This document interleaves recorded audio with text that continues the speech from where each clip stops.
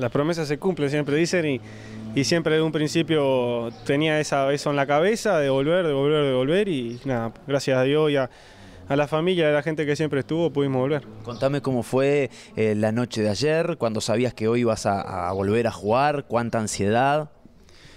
La verdad, hasta ayer de noche estaba tranquilo, normal. La verdad que en la noche no dormí nada. Eh, fueron, no sé, no sé por qué no dormí, porque generalmente duermo. eh, pasa que estaba todo, todos los sentimientos encontrados y se me hizo un poco difícil.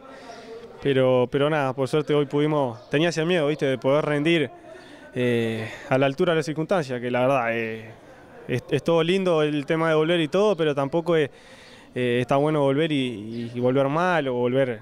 Por suerte salió un lindo partido con un cuadro grande que, que siempre es importante y nada. Una lástima que no pudimos ganar, pero en lo personal me voy muy contento. En el partido de hoy, primero ingresó Nacional, después Danubio, con 10 jugadores, el 11 fuiste vos, muy emocionado y saludado por tus compañeros y los de Nacional. Explícame ese momento.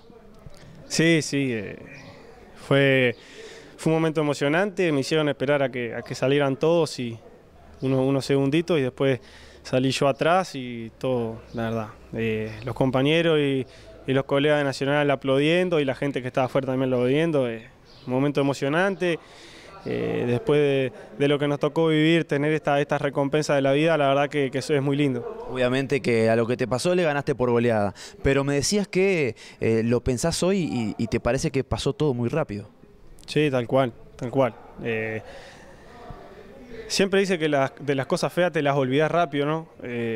Yo, la verdad que me olvidé de muchas cosas. de vez en cuando me pongo a pensar detenidamente y me acuerdo de cosas que, que me tocaron vivir que en la diaria me olvidé.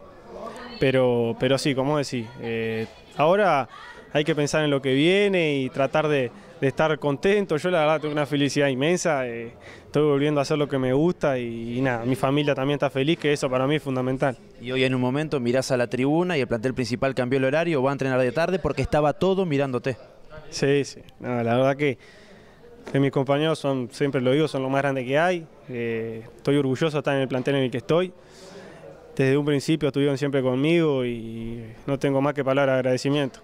Eh, la verdad que, que ellos se portaron muy bien y, estoy seguro que si le pasara algo a alguno de ellos, ellos saben que yo estaría de la misma manera. Entonces es algo recíproco y, nada, muy agradecido, como siempre lo digo, que, que han hecho cosas que, por ahí la gente no sabe, que estoy muy agradecido.